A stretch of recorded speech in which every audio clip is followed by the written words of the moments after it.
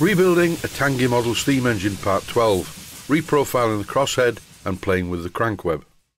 In the last episode I found out that there was a major problem.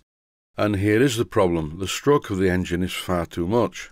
The original piston was hitting both ends of the cylinder inside it, so I made a very special, very thin piston, but it was still a problem. It's time to dismantle the engine and do something about it. With the crank pin firmly held in the chuck of my Boxford lathe, I'm using a Bahco adjustable wrench to remove the crank web from the crank pin. If you've been following this series, in an earlier episode I did mention that the crankshaft was a bit bent.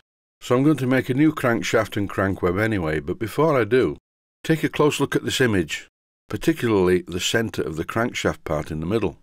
The centre hole in the crankshaft isn't in the centre of the crankshaft, and that is very odd.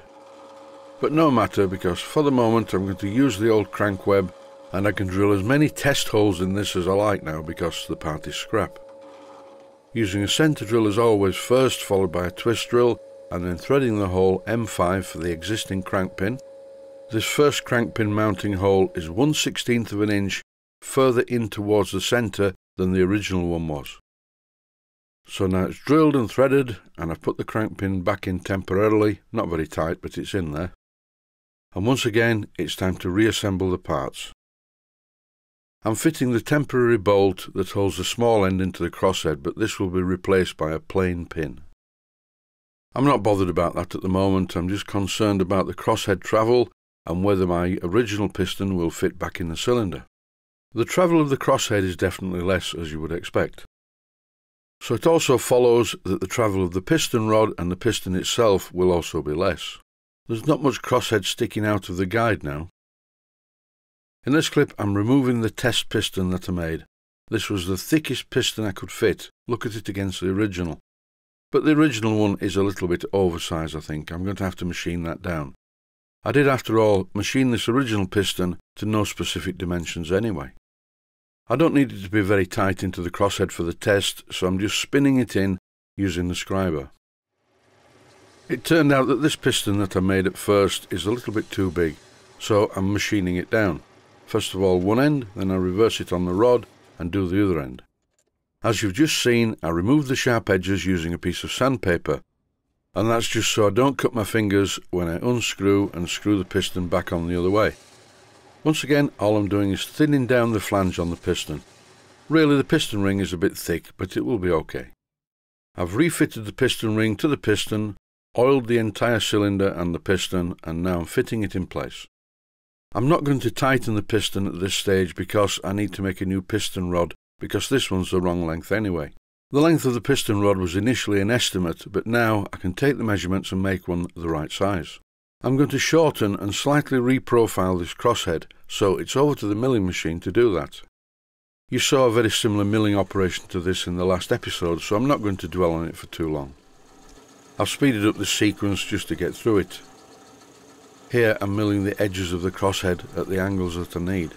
First one side and then the other. And to finish the job I reposition the crosshead vertically in the machine vise and clean out the centre.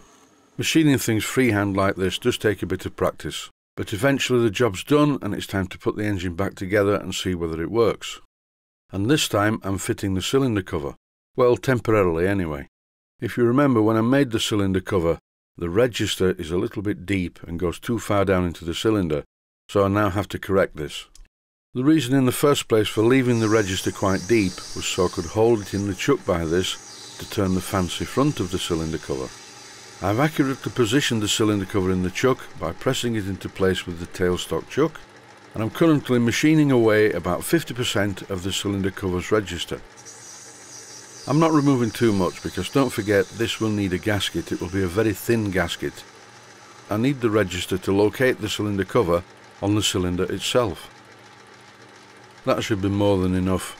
Now it's time to fit the cylinder cover using a couple of bolts to the cylinder and see whether the piston goes full length without hitting either end. I've connected my small Bosch drill to the crankshaft and now I'm going to turn over the engine and see what happens.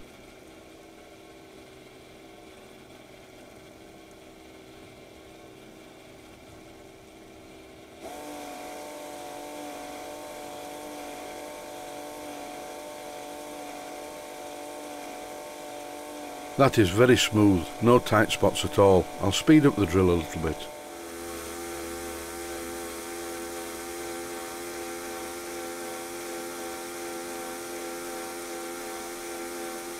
Now the rebuild is back on track. A tiny bit of the crosshead protrudes past the guide, but that is okay.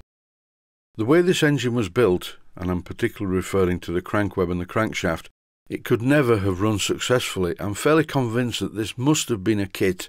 A manufacturer would not have made an engine like this, and would think that the missing parts were probably thrown through the window. The next job is to make a new crankshaft and crank web, but that will be in another episode. Thanks for watching, and I hope you found it useful.